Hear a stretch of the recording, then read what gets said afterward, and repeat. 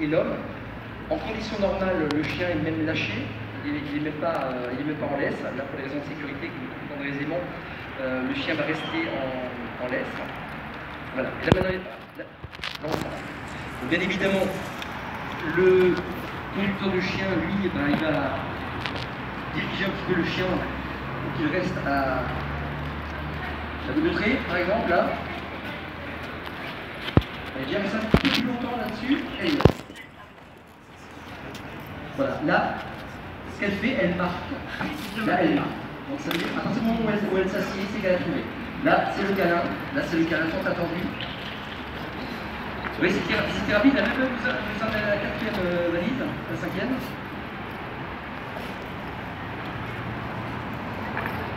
Donc là, c'est un moment d'affinité entre, euh, euh, entre le chien et son maître.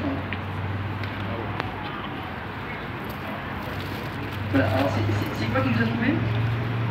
Voilà, c'est la dynamite. Il a,